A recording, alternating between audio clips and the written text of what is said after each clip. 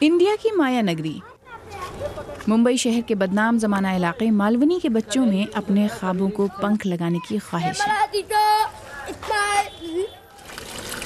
لیکن ایک کمرے کی رہائش گاہ میں پورے خاندان کے ساتھ کھانے پینے، سونے اور روزمرہ کے سینکڑوں کام انجام دینے کے بعد خوابوں کے لیے جگہ کہاں بچتی ہے؟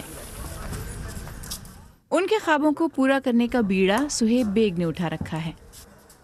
بطور الیکٹریکل انجینئر ایک انٹرنیشنل کمپنی میں تقریباً نو برس کام کرنے کے بعد انہوں نے یہاں آ کر ان بچوں کے ساتھ اسی علاقے میں رہنے کا فیصلہ کیا۔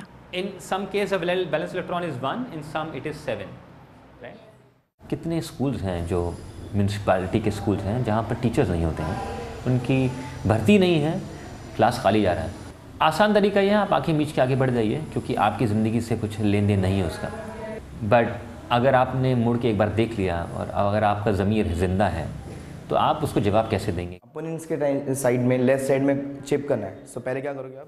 سہیب اور ان کے چند ساتھی کراؤڈ فنڈنگ کے ذریعے اس تین کمرے کے کمیونٹی سینٹر اڑان میں بچوں کو پڑھانے کے علاوہ ان کی دلچسپی کے ہنر بھی انہیں سکھا رہے ہیں۔ یہاں اسپورٹس میوزک کمپیوٹر کا استعمال اور کراٹے جیسے فن سیکھنے میں بچوں کی مدد کی جاتی ہے۔ جب ہم لوگ کو اڑان ملا تو اس کے بعد ہم لوگ کے ڈبیٹ میں پریکٹس ہم لوگ کی زیادہ ہوتی ہے جس کی وجہ سے ہمارا ایکسپیرینس ہے جو چیزوں کو جانتے ہیں وہ زیادہ ہے۔ اور پھر جہاں پہ ہم جاتے ہیں ڈبیٹ کرنے تو وہاں پہ ہمارے پاس نالج زیادہ رہتی ہے۔ لیکن سہیب ان چھوٹی چھوٹی کامیابیوں سے آگے بڑے مستقبل کی طرف دیکھ رہے ہیں۔ ان کا خیال ہے کہ یہ تو ابھی صرف آغاز ہے۔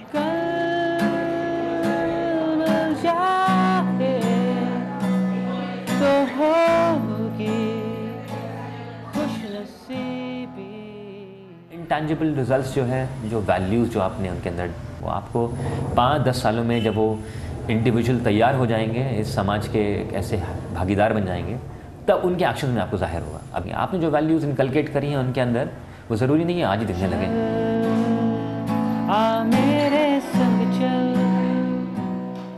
سہیب کی زندگی میں آسائشیں اب ماضی کی بات ہو چکی ہیں۔ وہ یہیں رہتے ہیں؟ انہی لوگوں کے ساتھ کھاتے پیتے ہیں۔ ان کے اس راستے کے انتخاب پر سوالات بھی کیے جاتے ہیں کہ اس عمر میں وہ اتنی بڑی قربانی کیوں دے رہے ہیں۔ لیکن سہیب کو یقین ہے کہ جب تصویر بدل جائے گی تو تکلیف کا احساس بھی یاد نہیں رہے گا۔